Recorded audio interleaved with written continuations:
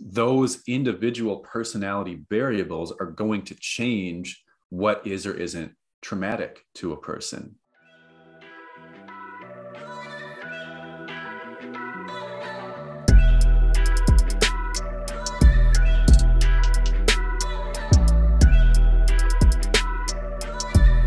How you doing? Good. How are you? Yeah, I'm good. Just got back. Uh, what day is it? Saturday. Got back about six days ago. Just kind of getting settled back in. How about you? I'm uh I've been working like a dog actually. I'm excited. I uh, I'm going camping next weekend, so I'm like pretty stoked for that. Okay. I loaded up this week so I could just get everything done and uh it's going to be pretty wicked, man. How was your vacation? It was um so it was good. We're kind of calling it like the luckiest unlucky vacation, if that makes sense. Like a lot of not great things happened, but they all could have been way worse. So like um third day we were there that night, right around midnight, it was a pretty bad storm, and we lost power. Which up, I mean, it's not that big a deal up there. The only thing we really use electricity for is the fridge, honestly. Like that cabin doesn't have AC. We don't watch TV, so it's really just food. Um, so we weren't too stressed about that. But then when we woke up the next morning, we realized that the reason we'd lost power is that one of the trees on our property had fallen on the power line and also blocked our driveway. and And the drive, it, it's like it's kind of up on a hill, and the driveway is like dug into the hill. So there's there's no way to get a vehicle in or out of there if that driveway is blocked. So we were stuck in, like we couldn't, we had no power, so the food was going bad, and we couldn't go to the store. so that wasn't great. Um, but they cleared that tree. The road department up there cleared that tree after like eight hours or something. So that wasn't too bad. We got power back two days later, but you know, then we were able to go to. We just basically spent a couple days in town, which is like half an hour away. Um, and then two days after that, we got a flat tire, but we happened to be in town when it happened, which is a miracle. You know, we could have been four miles down some gravel road in a national forest. You know how it is in those types of areas. So, all the bad things that happened happened in pretty good ways, if that makes sense. yeah, yeah, man. I've been there with the flat tire on we call them like forest service roads up here, but like yep, that's same. Mhm. Yeah, I've been screwed on a Forest Service road before, man, and Mhm. it, it was pretty brutal. I had Yeah. had an experience like that, but that's crazy, man. It would with the tree coming down too, like so they they cleared that up for you after eight hours, man. That that must have been like a stressful eight hours though. It was because I've like it- it's weird because we used to live up there in the summers. So I mean, I've spent um, months and months of my life up there, and like somehow none of those things have ever happened before. Like I don't remember. I'm sure we probably have lost power, but I don't remember it. We never got blocked in. I don't remember ever having car trouble up there either. So it's like, despite the fact that I know that area real well, I'm not acquainted with like the services up there. And every single time, it's such a small area. There's so few people that live up there. Every single time, I was like, oh man, this is gonna be a disaster. Like this is gonna be days before anything gets fixed, and everything got fixed real quick. So that was like a pleasant surprise. How how far is that from your place? Uh, it's about eight hours. Well, if you don't stop, it's eight hours straight north, and we have kids, so it's more like nine hours. That's wicked though. And you, how long were you there for? A week or what? We were there for almost two weeks, actually. We went up uh, Monday, the 20th, and then we came back the following Friday. So we were there. Um, eat, on the way up and on the way back, we stop in Minneapolis. So we stay over because eight hours in the car with my kids is just not, honestly, I don't even like eight hours in the car. So I don't mind the break. Um, so we were at the cabin for what would that be like eight days, nine days, something like that. That's wicked. Longest I've longest I've been there since I was a kid. It was great. That's wicked, man. And just chilling out, fishing. Like, what kind of stuff did you get up to up there? Yeah, a lot of fishing, a lot of just exploring. You know, my kids are nine and five, so they're like, I, I got to remember that when I was nine, I loved fishing, but I didn't fish all day long. You know, I did a lot of other stuff up there too, like catching frogs and tubing and boating and walking on trails and going to town. So we just do a little bit of everything up there. You know, it's just it's just nice to be out in nature and like educate them on plants and animals. You know, all that teach them what I'm passionate about.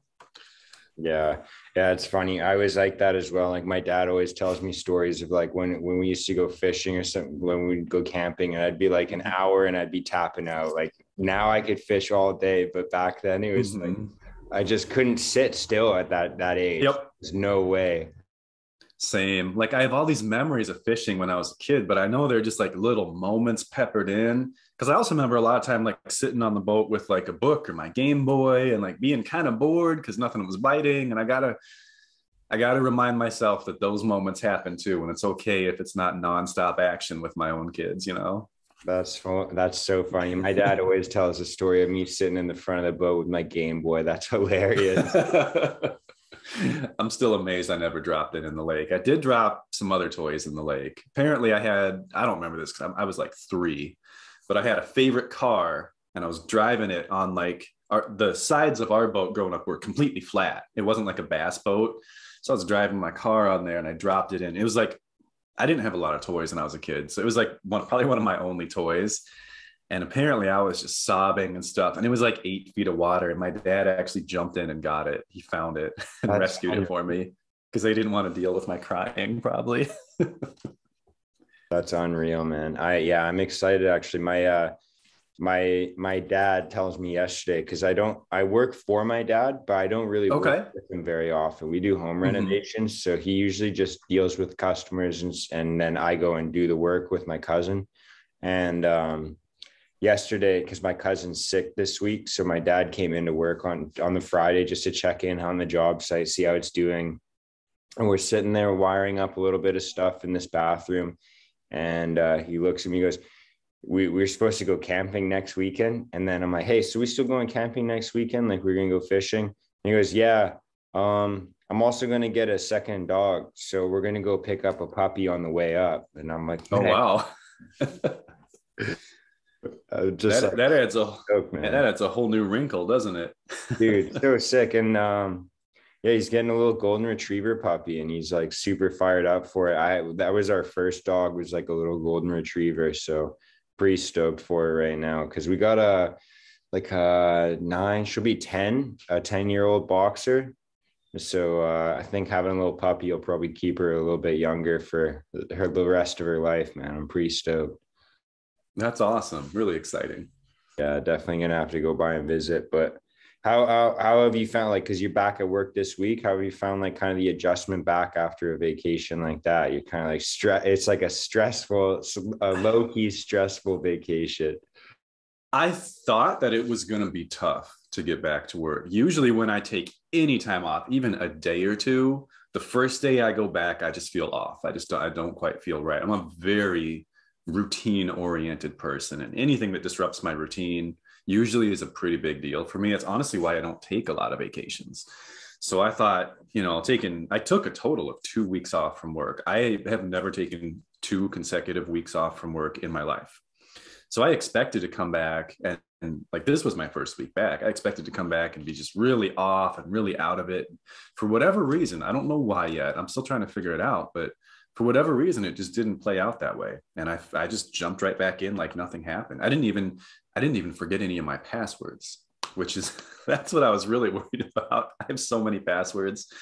It was really good. It's been really good. I'm not sure what it was about. I don't know what was different this time. I haven't figured it out yet, but it's been pretty easy to just jump right back in. It's like I was, like I never left. Yeah, I was gonna ask you like maybe what what was like a catalyst there for you because I'm the exact same. I'm like a big routine guy, and anytime that I um, take any time off my routine or like vary from my routine at all, I just feel weird. Like I feel off. Mm-hmm. Yep. Completely. Um, like what was the catalyst for taking that amount of time off? No, I mean like just uh, what was the catalyst this time that kind of let you just kind of sink back into your rhythm? I'm honestly not Sure. Um, one one theory that I have, and I don't know if this is the answer, but it is something I did differently this time. Is since this was a longer vacation, and since I knew, you know, I wanted to go. The vacation was for everybody, but in some ways, it was more for my kids than me because, like, I want them to experience that setting in that area. And since we don't live up there anymore, like that's kind of their only shot. I mean, we live in a fairly like foresty area, but it's not the same as northern Minnesota. Um, so I wanted to be able to let go at their speed, kind of just chill and relax. So I, I made a decision that I was not going to consume any caffeine for that time because I I'm a pretty high energy person without caffeine. With caffeine, I'm a little crazy. And like for work and stuff, that can be good. But if I'm trying to relax and, and take it easy, I, that's hard for me to do without caffeine. So I'm like, I'm just going to try an experiment and see what happens. And I'm not a huge caffeine drinker anyway. First couple days were rough. I was surprised by how rough they were. Like I was tired. I had headaches. I was, I was clearly having withdrawals. And that shocked me because I drink one, maybe two cups of coffee a day. Like it's not a huge part of my life. Um, but after that, it's like something just clicked and I felt, I don't remember the last time I felt that calm and relaxed. And for a few days, I was just riding high. I'm like, oh man, I'm onto something. Like maybe I'm just not a person who should be consuming caffeine. And then I thought, wait a minute, you're an idiot. You're on vacation. Like you're you're surprised that you're feeling calm and relaxed. You're on a vacation in like your safe place, your favorite place like obviously you feel this way. So I'm like, okay, I got to be, you know, I'm a, I'm a psychologist, I'm a scientist. Better test this. Got a hypothesis. Time to test it. So about a week in, I go to the gas station and I grab like an iced coffee in a can, drink it that morning, and I was like on edge, grumpy that day, even though we're still on vacation. So I'm like, okay, I think I'm on. I think I'm a person who needs to have very minimal caffeine intake. So I have carried that over um, since coming back. Most days I'm I'm trying to keep it at zero. I'll let myself have a little. Um, I'm kind of I'm kind of moving away from coffee because it's harder to like customize the the amount. You know, like I mean, you can control how strong you make it. But a lot of times my wife makes it. She likes it very strong, so I don't have much say in that. Um, so I've been doing a lot of like some of the powdered energy drinks, and I'll do like a half scoop on a day when I know I'm going to be real busy on a on a more like on a weekend or on a slower day at work. I'm trying to keep it at zero, and I do wonder if that has helped me just be a little more flexible and easygoing. I feel like it has. So that's the only theory I have at this point. That's that's wicked, man. I'm actually personally, I've I've been trying to detox my brain currently, actually as well. I um I stopped smoking pot 19 days ago. But the other thing I was gonna say, and I was a pretty heavy pot smoker before. Like I was kind of like I, I talked about this a couple times on the podcast. So for anyone that's listened to this before, I'm sorry, but it was kind of like literally part of my identity like in my group of friends like i was like kind of like the stoner the pothead you know like sure yeah and so like uh yeah 19 days ago i stopped smoking pot just because i was like i gotta hit refresh on this brain but 29 days ago like i'm, I'm excited because tomorrow's day 30 of no caffeine actually. And nice. so i i was a heavy i had no no moderation. That's part of my problem man. And so like when i was drinking coffee i'm drinking like a pot a pot and a half a day to myself. Like i'm a freak that way.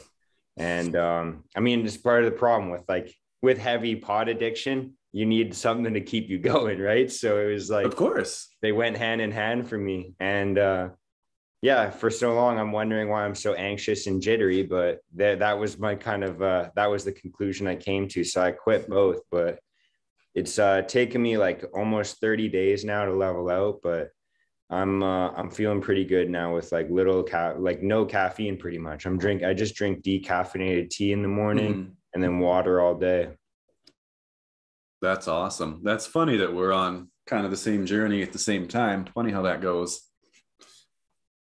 Yeah, man, I definitely did have pretty uh pretty brutal withdrawals though. For us, I feel like the, would, the withdrawals were worse from the caffeine almost than the pot. Like the pot, it took me like maybe a week or so, and then it's just weird little like triggers. Like when I used to smoke, I'd kind of have like the the same kind of triggers, like oh, like before meal, before bed, kind of thing at night. Mm-hmm. But with caffeine, it's like, man, wicked physical withdrawals, like insane. When you're drinking a pot and a half a day, like stupid withdrawals, man.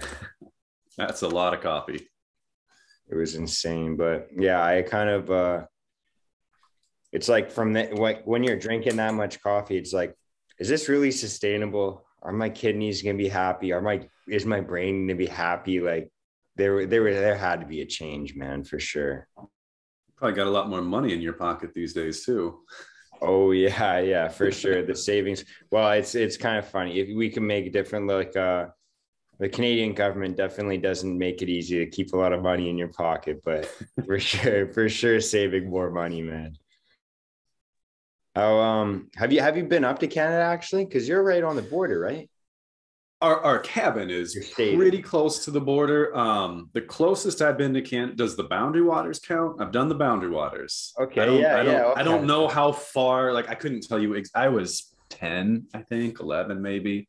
So I couldn't tell you exactly where we went to. I've never like formally entered Canada my wife and I, before our kids were born, had a trip planned, and I, I, don't remember why, but we changed our mind. I think it was too expensive. We didn't have a lot of money at the time. I was still in school, so money was pretty tight. Um, I am 100. Honestly, I'm worried that if I visited Canada, that I would want to live there. I know because because it's basically just a giant version of northern Minnesota with more cities. Is essentially the picture in my head, and I think that's pretty accurate. Um, I'm I'm almost certain that I would absolutely fall in love with it, which makes me not want to visit because then I feel like I'd have a hard time being happy here. It yeah, it depends. It depends on the area you go. I think uh, if you ever been, have you been to Washington State, like anywhere in the Pacific Northwest? Been to the Oregon coast, yeah.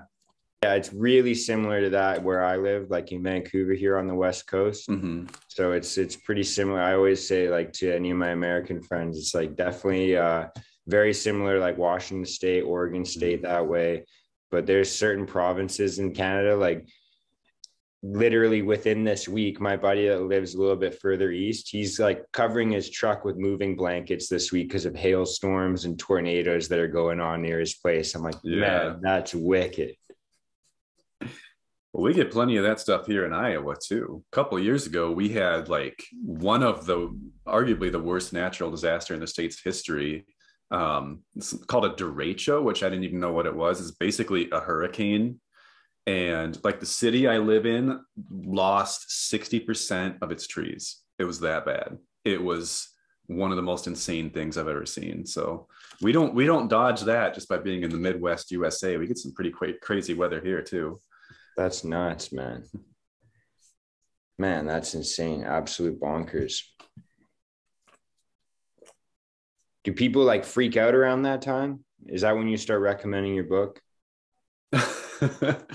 um, yeah, yeah. There's definitely like a a citywide residual trauma from that. So that storm was two years ago in August, and just this past uh, Wednesday, I think it was, the weather conditions were very similar. Um, it had been a, like a major heat wave, very windy and there were some like clouds that apparently looked derecho like potentially.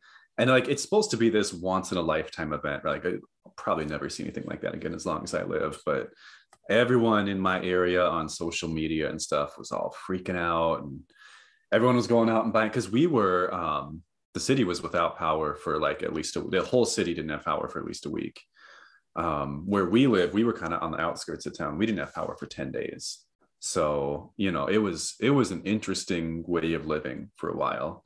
So when this new storm was on the horizon everybody was going out and buying gas and like generators and stuff chainsaws preparing for it again. Wasn't a big deal this time but you you can clearly see it has affected the the mentality of everyone who lives here. We're all on edge now anytime it's similar conditions yeah, yeah. I, I know what you mean. Like, because probably Texans are like that as well now during the winter after that big locker, mm-hmm. the big shutdown that they had. Uh, yeah, I'm sure. When any, I mean, it's it's hard to say these days what what constitutes a trauma. You know, that's a very that's a very like uh, a controversial term these days um, you know, the DSM would say it's something when your life was in danger or you felt like it could have been in danger. And at, at least at least for me, I never felt during the storm like I was at work. We have a pretty good sized building. It's pretty sturdy. Like it's one story. So I, I, never felt like I was going to die during that storm. In fact, I didn't realize how bad it was till I went home that day, honestly. Um, but I think for a lot of people, it was just the aftermath of like, you don't realize what life would be like without electricity, and this was like August in Iowa, mostly mid 80s, high 80s during the day, and then it gets cold at night. Um, you know, no no refrigeration. You know, you, it's hard to run a fridge with a generator. That takes a lot of power. So most a lot of us were living at. I bought a I bought the biggest Yeti cooler they make, and we were just living out of that for a week. Um, I didn't mind it because for me, it just kind of reminded me of my childhood because that's not that different than how we lived growing up in northern Minnesota. Like I said, we grew up without air conditioning. Our hot water heater never worked. So it's like I was and I, I thought it was almost like a I, I hate to say this because this this would be very invalidating to a lot of people, but I almost felt like it was kind of like a fun adventure. But I know that for a lot of people, they would consider that to have been a traumatic experience. And, you know, as a psychologist, I feel like where you can really see that is when you see like residual traumatic reactions to similar situations because i like like i said i saw people on social media who were just like like just this past week during the storm that ended up being nothing we're outside like live streaming the clouds coming in and like clearly starting to feel panic it's like you wouldn't you wouldn't be reacting that way to this storm had this other storm not happened two years ago this is your brain and your nervous system being on edge because this reminds you of something that was a much bigger deal in your life. And that, when you see someone respond in that way, that is clearly a trauma response. So you can you can get all up in arms about like, well, your life was never really in danger, so you can't be traumatized by that. But clearly people were. They they obviously were. And, and you can see that by their reactions under similar circumstances. And I see that a lot with my therapy clients, for example, too, not even just with the storm, with, with things, you know, there's a lot of other things that pe- people may not think of as traumatic, like let's say bullying, not like getting beat up every day, but just like relentless teasing. That's not going to kill you, right? It's not a life threatening trauma. But when you see someone who's been through that kind of thing, who's in their 20s, 30s, not dealing with it anymore. Like it's over and done with. They're around mature adults who aren't acting that way. They have safe relationships and they are still on edge about like perceived rejection or perceived teasing to the point where they're constantly looking for it, constantly scanning for it, getting really nervous or scared or angry if they feel like they see it. That's trauma. That's clearly a trauma response and I don't really care if someone thinks that the events that precipitated that response should or shouldn't be traumatic to a person. It doesn't really matter what you think because they obviously were. And the proof is in the response. Yeah, yeah.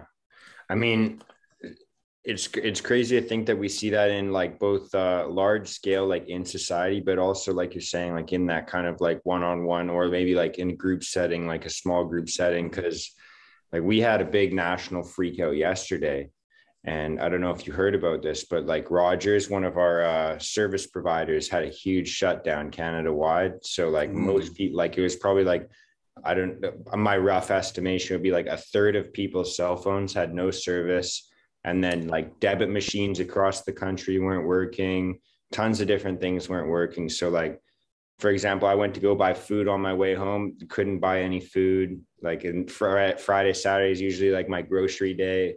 So it's uh like crazy to see like how like the fabric of society could fall apart so quickly and everyone's reaction is so different because there's people like you know for instance like my girlfriend she's like dude my gas is empty on my car and if i can't buy gas i can't work tomorrow and then there's other people like I go to the gym and they're like laughing about people that freak out about mm-hmm. that. And it's like, yeah, for some people they're okay, but other people like that is a serious impact in their life. Mm-hmm. And it's crazy to think about, um, you know, and even I fall into this sometimes too, like that kind of insensitivity, insensitivity towards, you know, other people's kind of traumatic experience of like, yeah, this is a big deal for them. You know, this is huge because maybe it is touching on something that they've had before. Like, um, you know, I I I would be lying if I said that I don't have those feelings of like inadequacy from like childhood experiences sometimes come back. And there's things that I react to where people are like, bro, it's not a big deal. But it's like it seems like a big deal for me right now. I don't know why you mm-hmm. could say that. Yeah, it's it. What is and isn't a big deal. This is why I, I honestly don't think we're ever going to be able to arrive at an objective definition of trauma because what is a big deal to one person is going to vary so much from one person to the next like like i said that storm for me wasn't a big deal because i have had similar experiences to that growing up that were like on purpose like to me, it was just kind of like camping in my house. And I love, you know, I love camping. So I'm like, this is this is fine. But I, I understand and respect that for people who don't have that kind of like outdoorsy background, that, that this just, this just felt awful. This wasn't fun. This wasn't an adventure. This this just was miserable and scary and um and and I, I understand that. And you know, on the flip side, I know there's a lot of things that bother me, like kind of like what you were just saying. There's a lot of things I'm sensitive to that most people are like, that's not, that shouldn't be a problem for you. I'm very sensitive to like wording, phrasing, wording choices. If people word things a certain way, I tend to feel very hurt by that. And then I'll kind of isolate myself. And people are like, you know, why? That's not what they meant. Why are you reacting that way? And sometimes I can articulate why, sometimes I can't. But pretty much every single time it somehow relates to you know something i've been through in my past that was not okay for me. I've i've never been i've never been a very like emotionally resilient person. I'm physically resilient. I'm not real emotion my feelings get hurt easy. I'm sensitive. I read into things. And so a lot of what i think people would consider normal childhood experiences playful teasing, you know, boys being boys, stuff like that, were like really unpleasant for me to the point where like I, I hated them and didn't know how to cope with them because they created real emotional dis- they weren't just fun little things for me. So like every person's going to have their own different version of that you know? Some of us are highly sensitive to lifestyle changes like losing power. Some of us are highly sensitive to teasing, to language choices. Some of us are highly sensitive to rejection. And those individual personality variables are going to change what is or isn't traumatic to a person. And, and ultimately, I think you can't judge it based on what the event was. You have to judge it based on the response. And if a person is clearly showing a trauma response, that means what they went through was traumatic to them. I think that's the best definition we can ever have. Yeah, yeah. And it's interesting too that um like different people across the board, like it's not like um trying to find a way to to explain what I'm thinking about, but it's I was thinking about this earlier this week how we have different resiliencies to maybe events than we do to people. Like there's times like um like people don't tend to get me down usually like it, it's kind of like uh i mean this is probably a character flaw in and of itself but like when people like kind of get on my nerves i just kind of write them off. I'm like oh that person's just an idiot. Mm-hmm. like that's just the way i look at it. It's like oh we disagree like they're obviously just an idiot. And then there's other times where like i'm at work and this ties back into what i was saying earlier like feeling of like inadequacy. Like if i mess a ton of things up at work like i mess up like you know, I build something wrong or I, I you know, etc. Like things like that will get me down more than people will. Do you get do you get what I'm saying? I do, I do. It's it seems like what that kind of sounds like to me is you're more likely to to personalize or internalize like a, a performance situation, uh, an outcome of something you do, than you are something that someone says to you. Like your boundaries with those situations are very different. See, um, it's funny because I'm the opposite. I I can screw things up all day long, and I'll. I mean, I don't love that, but I also I generally have a lot of confidence in my abilities. So if I do mess something up, I'm like, eh, I'll figure it out eventually. But when when people don't like what I have to say, that's that's actually pretty hard for me to cope with, which probably brings into question why I ever thought being on professional social media would be a good idea, but so far it's gone okay. it's interesting that I think you probably just gave me a pretty good clue into it. It's like definitely a performance based. Like maybe I won't be able to ever do this. Like a lot of things like that kind of tie into like the uh the sensitivities I have. Whereas like with people, like ever since I was a kid, I was kind of that class clown saying things that piss some people off. So I guess I'm more like conditioned to that.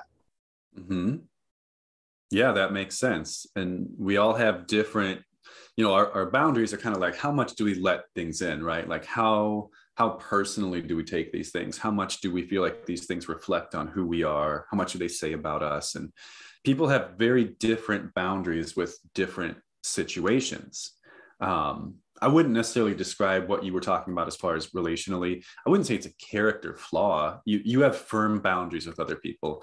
There's no exact right way to be with your personal boundaries. Every every strategy you can have is going to have pros and cons. So you know an approach like yours might result in you having a smaller social circle but it's also going to result in you not getting your feelings hurt as often by other people not spending a lot of time in disagreement or conflict with other people. If you tried to be the opposite and tried to just be really accepting of other perspectives and viewpoints even if they totally didn't align with yours um, yeah, you might have a lot, you might have a wider social circle, you might have more diversity and perspectives and whatnot, but you're also going to probably spend a lot of time arguing with people, and that's not necessarily great either. there's pros and cons to almost any approach you can take in life. Like, there's, as someone who works in mental health, there are very few things like universal strategies I can give to people. The only universal mental health strategies are, are, typically your basic physiological fundamentals. And that's that is why i hit on those things frequently like in my social media content in my book because there's a there, there's a few things where it doesn't matter who you are these things will help you. You know things like trying to get about eight hours of sleep a night that's average. Some people need more some people need less but typically somewhere in that range making sure your nutrition is decent, making sure you're not skipping meals, making sure you're not nutritionally deficient in certain areas, being physically active. These things help everybody. Doesn't matter who you are, doesn't matter age, gender, ethnicity, diagnoses, no diagnoses. They'll help a person who has no mental health conditions be happier. But beyond those few basic fundamentals, it gets very individualized and there's no universal right answers. And that's that's part of what makes therapy and and writing self-help books and things like that difficult because well, especially writing a book because you don't know who's reading it you know? I, I can't tell a person how to fix their relationships in a book because I, I don't know who they are. I don't know what their relationships are like. I don't know what kind of relationship problems they're having. And you know, there's there's not a lot that's guaranteed to work. A lot of it's very personal and very situational and really needs to be customized to the individual I, I I see exactly what you're saying, but I got to give you credit, man, because I think that your book, like you did a really good job. But I was actually thinking, like this week, I was like, I got to re-listen to it because I got the audiobook version of it as well, and I listened to audiobooks during work. But I, I like the way that you kind of relate it back to personal stories. Like the very beginning of it was like when I first started listening to it, you open up with that fishing scene, and I'm like, man, mm-hmm. this hits home for me. Yeah, that's um that's the the place I was just at. That's where that happened. That's that same lake. I was and I was posting some photos and stories of the lake those past couple weeks. That's the lake in the story. It's uh it's an interesting lake because it's one of the clearest lakes in northern Minnesota. Um, when I was growing up, I think the clarity was about 12 feet. It's actually even more now because we got zebra mussels, which uh, I know they're not good, but they do make the water pretty beautiful. What is that? Which, I'm not even sure what that is. Oh, do you guys not have those up there? Actual, so oh, okay, I can picture it in my head now. Yeah, like a yeah. So they're like they kind of look like clams. They're like small clams, but they're they got black and white stripes, kind of like a zebra. Um, I don't actually know what they do that's bad per se, but I know that they they have a filtering effect on the water. I think they eat like algae, and that, that probably is what they do that's bad. They probably steal nutrients from native plants and animals and whatnot but they have a filtering effect on the water. So they actually increase the, the water clarity, but they're an invasive species. So it's not great that we have them. My daughter accidentally caught one on our trip with her lure somehow. Like she actually brought one on the boat. We didn't, it took us a second to even figure out what had happened. Um, but that's again like the water clarity like so many things we're talking about so it's kind of a metaphor like it's a pros and cons situation it's a beautiful lake i mean just to be able to like look you can see so far out and it's just gorgeous and it's crisp and it's clear but there's a couple downsides to that one is it can make the fishing more difficult because the fish can see you so you know you got to have a pretty good presentation because they can see you they can see your boat but the other is and this again, this one's probably real specific to me. I don't know that this would bother a lot of people. But when you have a really clear lake, like there, there's this little range where you can kind of see, but not quite. You can see shapes and outlines and movement, but you can't perfectly see what you're looking at. And that little area always creeped me out because yeah, I would constantly, I would constantly be seeing stuff in there but I couldn't see it clear enough to know what it was. And it just always put me on edge. And I know I was, I'm pretty sure I was the only one in my family that was bothered by that. I remember always wanting to fish in either really shallow or really deep areas because anytime we'd be in that kind of drop off mid range area, I would just get this really unsettled feeling. I always felt like I was going to see something that I wasn't supposed to, or like that didn't make sense and it was just going to bother me forever and i think that experience that i wrote about in the book really reinforced that because then basically my worst fear came true. I saw something big and scary and weird that i couldn't totally understand or rationalize. No one else saw like other people were in the boat with me but no one else saw it so i couldn't really explain it to them and therefore they didn't really understand why i was as bothered by it as i was. And I, I don't think seeing a large fish in a clear lake is something that would upset a lot of people, but there's something about the way it interacts with my brain that like that's a very unpleasant situation for me. So like so many things in life, the clarity that lake is is a pros and cons for me. Yeah, I I kind of I kind of vibe with exactly what you're saying because I, I remember there was this weird dream I had when I was a little kid about like it was like open waters. Like I've always been all right with lakes, but like open waters, like the ocean, creep me creep me out, man. And it's weird because we live right by the ocean here. But I, I remember so vividly this one dream where I'm pretty much at the drop off. I dunk my head under the water and it's just nothing like but water forever. Like that was like this weird dream that I had. And um I don't know if it was just like the like the size insignificance I felt being out there in this dream like this because this isn't real life even like this is just a dream or just like the abyss of the unknown you know? Like because it's like if you could see forever essentially right? And it's like yeah. um I that, that part like just connected that it reminded me of that dream that I had when I was a little kid. And it's so weird because I was probably like 8 when I had that dream. Like it's like 20 years ago almost. And I still remember it so vividly of just like dunking the head under and just like, whoa, like everything around me. And uh, I think it connects exactly with what you're saying, like the unknown, the abyss out there. Like it's kind of like, um, it connects pretty well with that experience, man. That's interesting because that's very similar to a. I don't know if I had this dream just once and just never forgot about it, or if it was a recurring dream for me. But I definitely remember, I'm sure I was around that age. I used to every morning, very first thing I'd do when I'd wake up is I would just run down to the dock and just, again, because the lake was so clear, just see what was down there. Because a lot of times there'd be like interesting fish or turtles or frogs or whatever. And I just love that like sense of discovery. But I remember, so I, and no one else was like, yeah, let's go run down to the dock at 7.30. So I'd used to be down there alone. And I definitely remember having a dream or like really a nightmare, I guess I would say, I'd run down to the dock, run to the end of it, look around. And then when I turned back and looked ashore, the dock had disconnected from the shore and it was just floating out into the middle of the lake. And it's a similar kind of insignificant, helpless feeling. It was just like this feeling of dread or terror, even though, like, logically, I can say, like, well, I would just swim back to shore if that happened. But somehow in the dream, I wasn't able to. And yeah, kind of a similar dream. provoking a similar similar feeling i guess. I, I do think you know other water especially big water big lakes oceans it's probably the closest thing we have on earth to like outer space where it's like these big open areas that really have this special ability to make you aware of your own insignificance. And i've heard a lot of people describe that as like a pleasant feeling and not so much for me and for you either it sounds like yeah no not at all. I i've uh, i've only been tidal fishing a couple times and i know that every time i kind of get that feeling of like man this place is so vast. Mm-hmm. it's insane.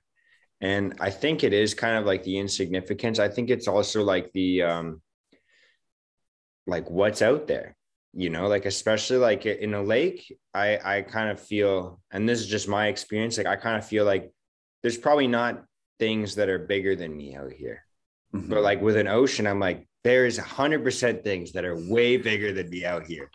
And yeah. like they could just destroy me if they wanted. Like what but there's no sense of like i could even see it coming kind of thing. Or i think a lot of the times with water especially it's like we're so slow in water too as human beings. Like everything that's in the water is so efficient at moving and breathing and seeing and and we're like i got my life jacket.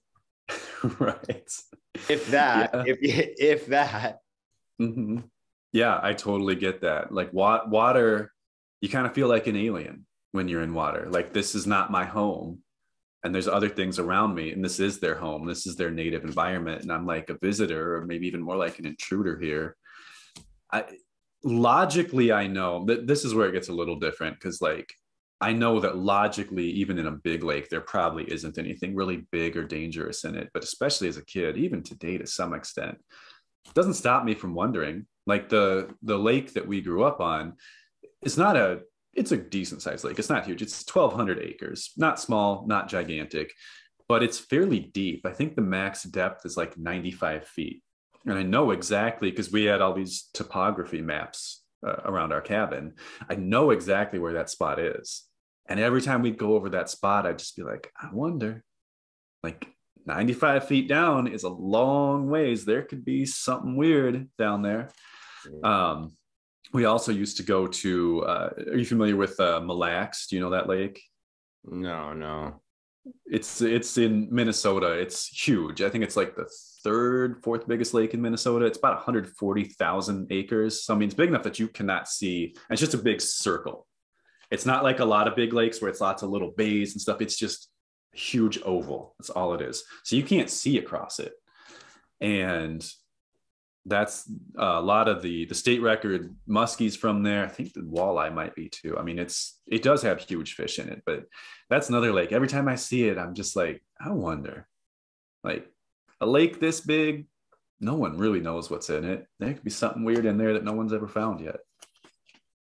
Yeah, I was like literally just googling pictures of it. It looks huge, man. What's the depth on a lake like that? Do you know the depth, or should I just? That one is really weird. So Mille Lacs the max depth is like 30 some feet. It is it is a very unusual lake. It's like a giant bowl. Yeah, I know you you look at it and you think I bet that lake's like 300 feet deep. It's it's a it's a strange place. Yeah, yeah. I I just this year actually I was fishing at a lake. I think the biggest depth I think was around 80 feet, and I was thinking like kind of a similar feeling that you're feeling like it's like man, that is so deep. If I were to think of that as like a height of a building, like I'd be looking right. straight up. Like, yeah, exactly. To think that's under me right now. Mm-hmm. It's crazy. And, and that no, and that no one's ever seen it. You know, like no one's ever, at least in, in, in our lake, you know, no one's like scuba diving to the bottom of it. No, exactly. It's, yeah. It's, it's like literally like I'm 90 feet away from something no human being has ever seen It's kind of a weird feeling. Do you, do your kids ever feel like have they expressed like kind of feeling the same way? To a to a degree, our son has a little bit. Um, he's he seems to be more lighthearted about it than I was. He's like he said like, oh, I wonder what's down there, and I I showed him the deepest spot because he was curious, and he's like, I always wonder if there's like sea monsters or something in here. So he has like the same thought process, but he just seems more curious about it. He doesn't seem disturbed by it, like which is good. I'm thankful that he's not like me in that regard.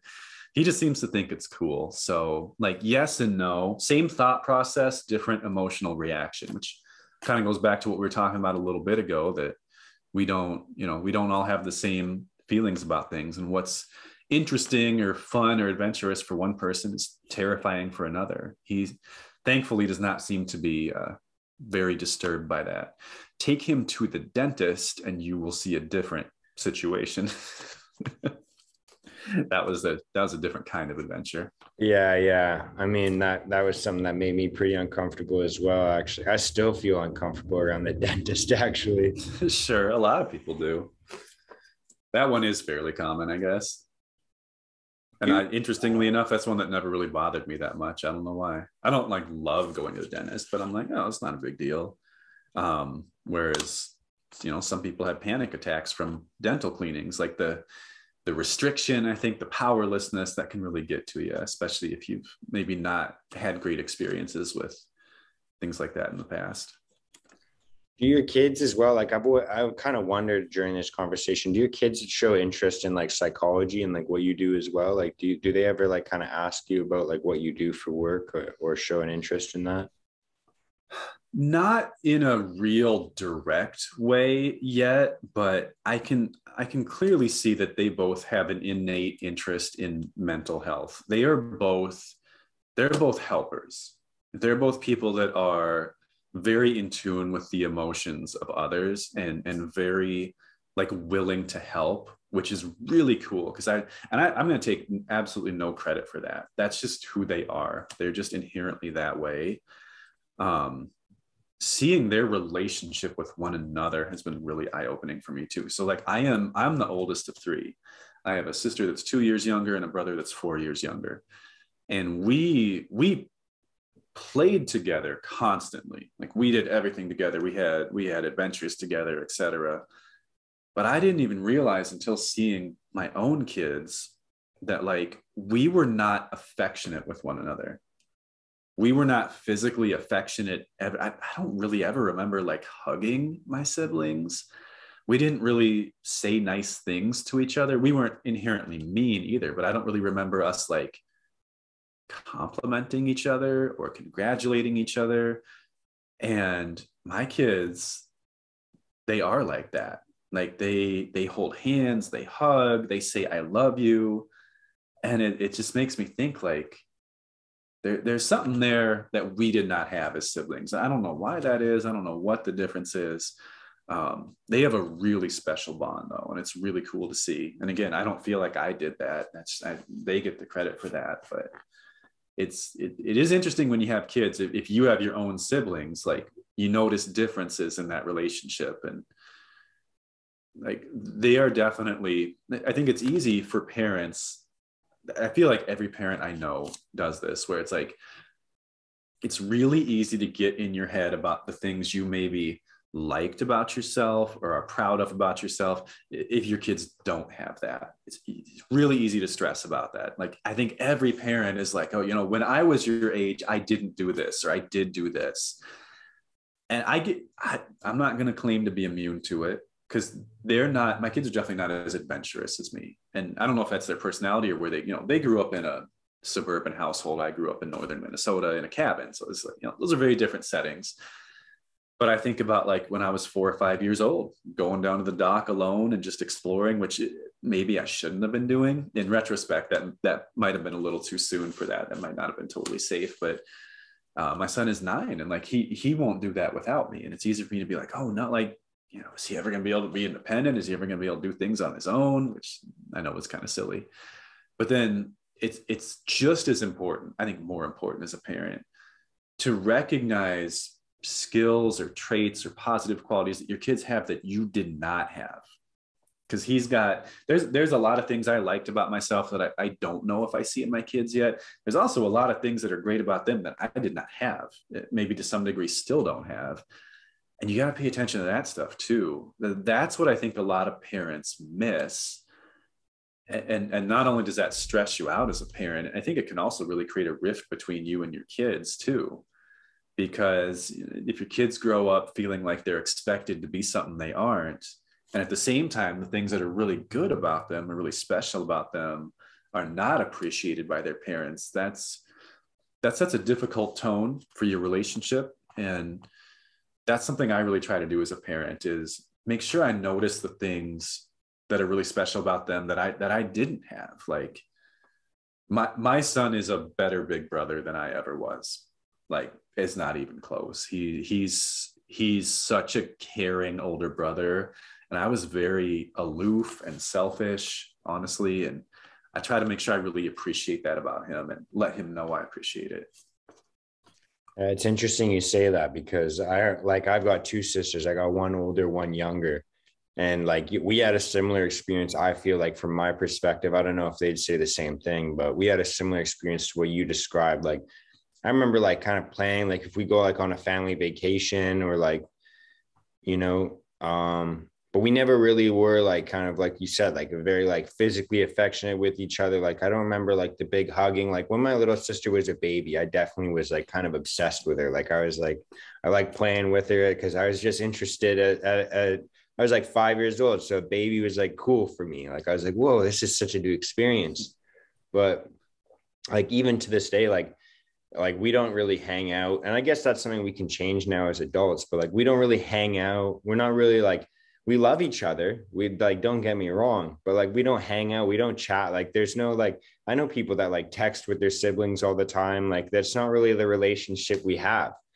And um it's it's kind of funny to think about that that way like i think that well maybe this this could be a question rather than a statement but do you think that maybe like the next generation has like kind of a higher eq that way like kind of like that I, emotional mm. intelligence i i 100% think that I, I i think i mean you know i haven't been alive through that many generations but i feel like that has been kind of a consistent societal trend overall I do feel like each generation, probably on average, seems like they're a little more in tune with their own feelings, a little more aware of the feelings of others, a little more open about their feelings. Like I would say, like my generation compared to my parents' generation, I would say we in general probably had a higher skill level in those areas. But then I see kids now, I'm like, these people are talking about things and like listening to others like this would have never happened when i was a kid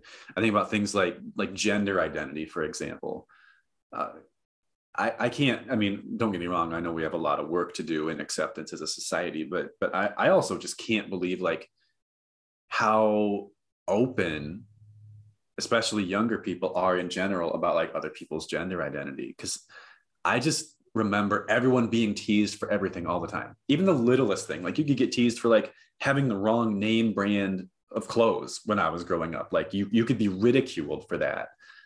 And I feel like now it's like, I just feel like society is getting, again, still got a ways to go, but it's getting so much more accepting of differences and diversity and so much more willing to consider the feelings of others. And I, I really, I really feel optimistic for for the future as far as things like m- mental health and you know relationships and emotional intelligence and things like that i i feel like we are very much trending in the right direction in those areas and it's really exciting to see yeah it's it's so weird to see as well like um I, I kind of play with those kind of concepts in my head as well because there's so many people in like like you said like your parents generation like my dad was definitely one of those like uh I always refer to him as like the stereotypical Canadian dad. Like my dad is like that, you know, and he's probably pretty similar to like a lot of people in like, you know, the the um, the Midwest, the like kind of that area as well. Like he's he's one of those guys that just like all he does, he gets after it. He's just working all the time. He wants to play sports. He wants to watch sports. Like very very active, outdoorsy guy. Like like I said, like he if he can get a weekend off and go fishing with his dog, like that's his like that's heaven for him. And there's always stories like you said like kind of you know maybe these are stories that i kind of use as comparisons for me. I don't know maybe if he looks at me and compares himself that way but like he'll tell stories of oh like when i was your age i was rebuilding cars in my front yard kind of thing. And all these different things like um you know um where was i going with this? Oh and we were talking about because actually one of the customers that we're working for the homeowner that we're working for is a retired psychiatrist. And so i was asking him yesterday and this guy's in his 80s so pretty high level eq you know like he, him and i were talking about stress levels and anxiety levels and we're talking about different books. I'm asking him about different things that what his perspective is on these things. And like if you were to ask my dad about depression my dad would be like, What are you talking about? Like, maybe some people deal with that, but I don't deal with it. Like, he's like stress mm-hmm. levels. Like, when I'm stressed, I just sleep on it, you know, like those are the, the ways that he talks about it. And it's like, I've always kind of wondered, like, how does this guy never pay attention to mental health, but still never, never struggle with it either? Because if I neglected my mental health, I'd be in sham. Like, I've done it before and I was in shambles. Yep. Like, how does that balance work? I wish I knew the answer to that question. Some people, this is something I write about a little bit in the book, though. It's another way that we're all built different. Is some of us, you know, it's kind of like it's kind of like the alcoholism gene, for example. I mean, I know it's not just one gene, but like some people can go out on a Friday night and binge drink and be a little hungover Saturday and then recover and then just like go back to normal life, right? Like some people, many people can do that. And then there are some people who that will set off weeks, months, or even years of, of sustained alcohol use that will absolutely ruin their life.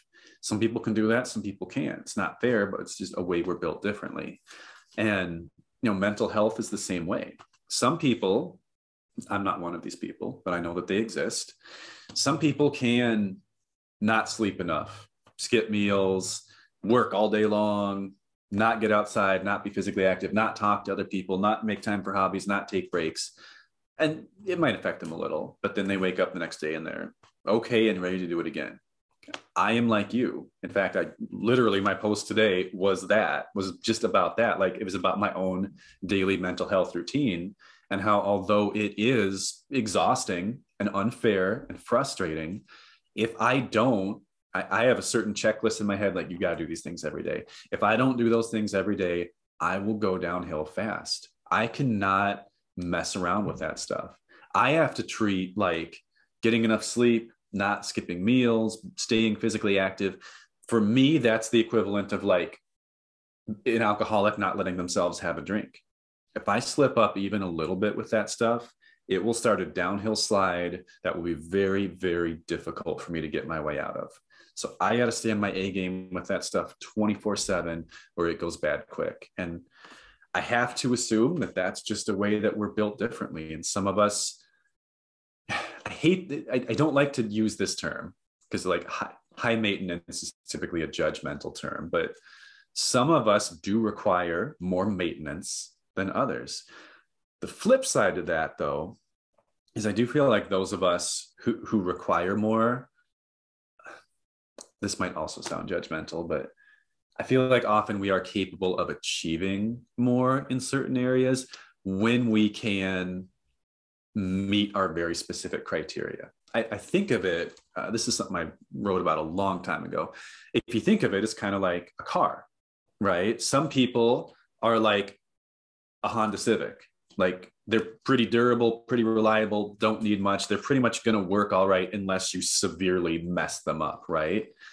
Some of us are more like a Ferrari, where it's like if under the right circumstances, this person's going to perform perform fantastically, but they're gonna like if you are not on top of every little service this is gonna fall apart real quick and it's gonna be real problematic and expensive to get it back in good working condition so that's kind of my metaphor that relates to that.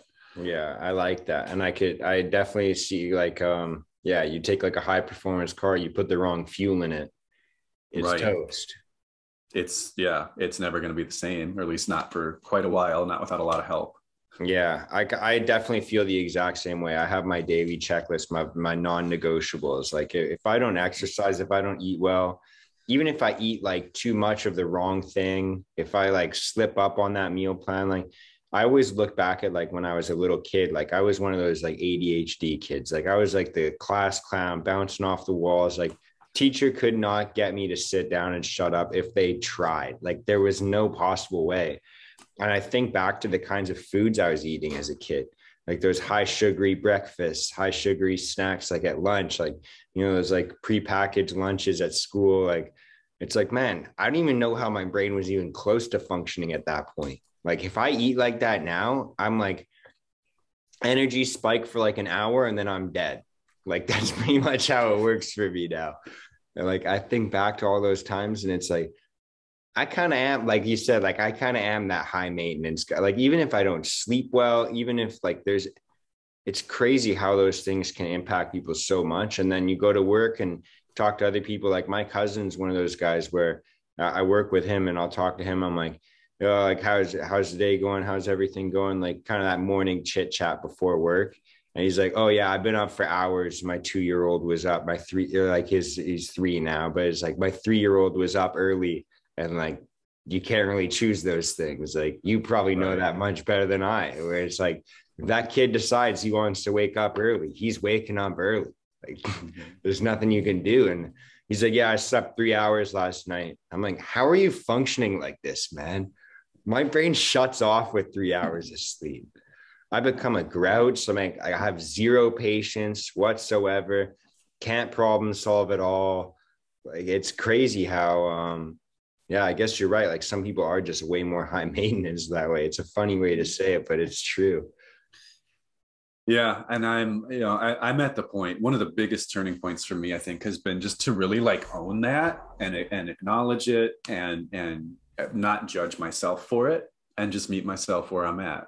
Like food, you gave the example of food. That's, that's a great example of like just little, you know, if, if anyone listening kind of relates to that idea that like my nutrition really needs to be on point to feel okay. I mean, that can be tough because the world is not built around that. You know, your job, your relationships are not necessarily built around you meeting your nutritional needs. And once I kind of understood and acknowledged that that was true about me, like I also I, I also need snacks. I I can't go between breakfast and lunch or lunch and dinner without eating at least a little something. And if it's just something sugary, I have I have the exact same problem as y'all. Get a little bit hyper and then I become basically comatose. And it's like, yeah, I can't do that when I'm at work.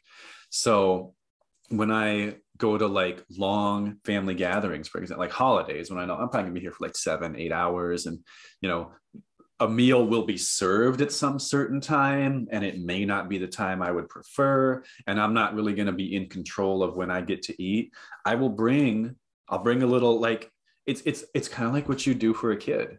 But honestly I, I don't know why that should ever stop or change. I'll bring a little backpack and I'll have like a protein bar a couple meat sticks in there whatnot like I'll bring my snacks just like I do for my kids. And some people might think that's ridiculous or that's silly but if that's what helps me feel good and stay socially engaged in that setting and not get grumpy or withdrawn or tired or whatever it may be you know if people want to call that high maintenance that's fine but it is what it is. That's who i am. I didn't choose to be this way. That's just how i'm made and i'm gonna i'm gonna meet my own needs so that i have the best life i can have.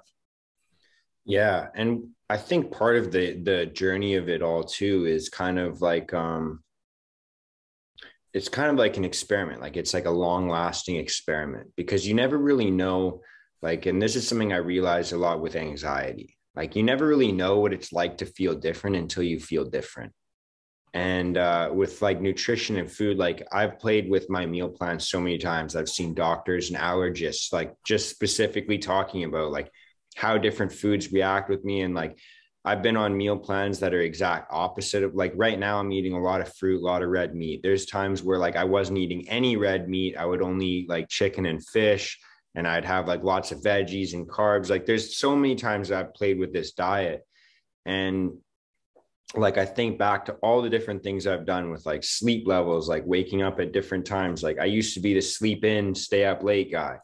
And and now i'm on a completely different rhythm. And there's so many times where like i've just kind of experimented with these things and just understanding like oh i can feel different. Oh i completely i've never felt this way before you know? And i think there's a lot of times where we try and force through things. Like there's times like for your example like having like the snacks like there'd be so many times where like I, am kind of like you as well. Like I got to snack on a little bit of fruit. Like I'm a big fruit guy. That's my snacks. Like I'll have fruit through throughout the day, and then like high high high quantities of meat with my meals.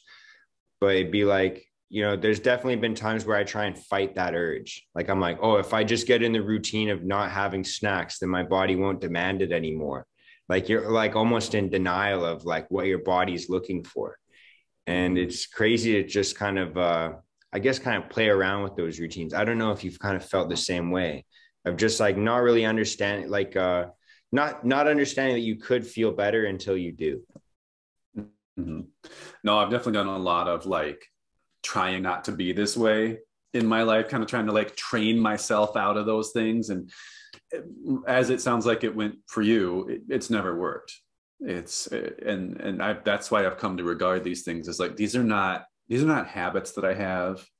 These are just universal truths about who I am. And if I do not acknowledge them, honor them, and base my life around them, I'm just not going to have a good life. I'm not going to feel the way I want to feel.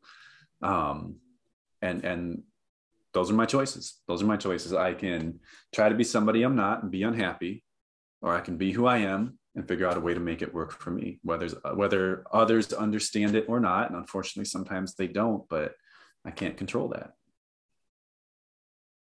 Uh, yeah i kind of i i agree with that as well. There, there was a long a long part of my life where like i used to get really mad when people would say this is just who i am. This is just how i am. Like and uh, i was like maybe part of that's a choice. For so long i kind of thought that way because and it's weird because sometimes there it, it is like that. Like i could have easily claimed like oh i'm just the stoner. That's just how i am. Like i've had you know especially here in canada i don't know how it is politically there but like um it's uh like medicinal marijuana was actually something prescribed for me for a long time for like my attention my focus because it was it, it allowed me to focus on one task at a time. It mellowed me out enough. And so for a long time i was like i told myself like this is something i need. This is who i am. And it's like well maybe there's other catalysts. And it's such a weird fine line between like you know um maybe there's reasons why you're bouncing off the wall. Maybe there's reasons why you can't focus on what you're trying to focus on. And uh, it, it's such a weird fine line between like who you are and the routine that you're currently in mm-hmm. how do you like kind of differentiate that that's a great question, and I think the there's really only one way to answer it because because it's going to be different for every person. The best way to figure out what you know is is this like an artificial need that I have created through a lifestyle habit, or is this a genuine need that's a part of me? The only way to find out is to run some tests, like to experiment with your own lifestyle figure it out because I've I've had other things like my equivalent of pot was probably video games. I was very very into video games for a long like most of my life. And I would have told you that that for for most of my life I would have told you that gaming was like a part of who I am, an essential part of my self-care, something I could never be happy without for any like sustained period of time. But as life got busier and busier and busier, I, I just I was getting to the point where I'm like, something has to get cut out here. There, there's just no way that I can be the kind of professional I want to be, the kind of parent and husband that I want to be, be in the health that I want to be in, and have time for all these things. And I'm like, something has to give. And that seemed, gaming seemed like the most optional thing. So I'm like, let me just, I've never tried it. Like I probably hadn't gone more than a few days. I'm, I'm probably I'm trying to remember exactly when this happened. Early 30s, probably, maybe even late 20s. Probably hadn't gone more than a few days without a lot of gaming since I'm like seven, eight years old. So I'm like, maybe I should just try it and see. Turned out, you know, uh, as with any lifestyle change, first few days were rough. Always will be. Don't judge it by the first few days. But after a few days, I started to feel better. I started to feel like more connected to other people, more mindful, just more engaged in my life, more engaged in my work, more creative. And I realized that, at least for me, I'm not saying this is true for everybody. I, I think for many people, gaming is just fine. But I, I had to realize at that point that for me, is like, I think this was an addiction. I think this was something that was really dominating my life in an unhealthy way. And I did legitimately enjoy it. I enjoyed it too much. That was the problem. And I regarded it as a need when in fact this this was an artificial need that I had created. Like I, I do not truly need video games to be happy. I do truly need exercise to be happy. I've also done that involuntarily. I've done that experiment because of like illnesses or injuries or whatever. And that bad feeling when I stop exercising, it doesn't go away. It doesn't go away after a few days or a few weeks. It stays with me until I get back into my routine. So I think that's how you find out is you try going without and once you push through those first few days that are never going to feel great, does that discomfort go away? And if it does, then like, well, you probably didn't need that thing then. If that discomfort does not go away, then that is maybe just a genuine part of who you are and it's a need you should continue to meet.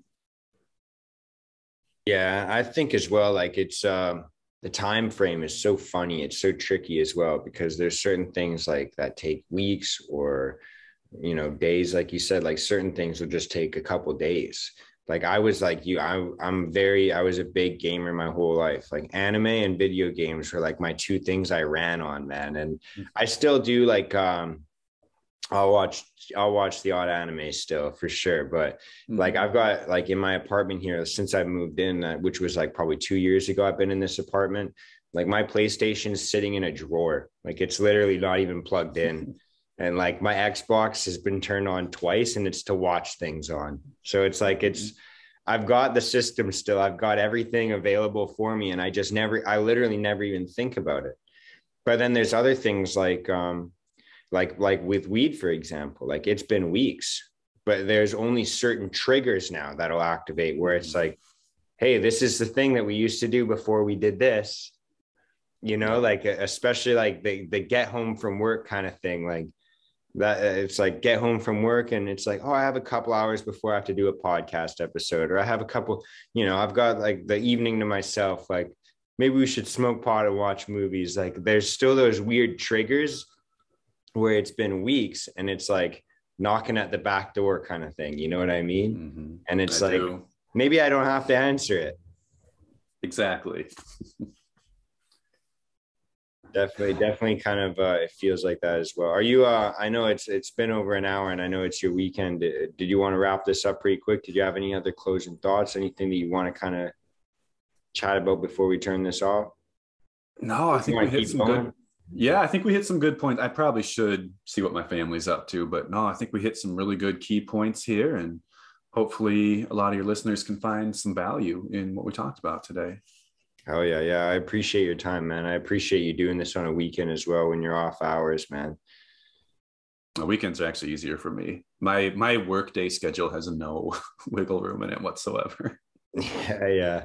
Well, um, I, I love that, man. I think that it's uh, it's been a really good chat, and I like I said, I'm gonna revisit that audiobook. So for anyone that's listening to this, um, highly recommend it. I'll even I'm gonna, I'll probably put a link into it so people can just go and check out your book as well but I I know like I connect with it a lot and uh yeah like I said like it's it's one of those books where it's not just like a you need to do this it, I like the way you relate it to a lot of personal stories because that's that's what clicked with it for me but man I really appreciate your time today man I hope that you have a good weekend and I hope that everyone listening has a good week a good day good night if they're listening to this at night but thank you so much man Thank you. It's always a pleasure. Always good to catch up with you. And I suspect we'll probably do it again sometime. Oh, yeah, man. I'm looking forward to it. Thank you so much, man. Much love. Peace out. Thank you. Take care, Mark. You as well.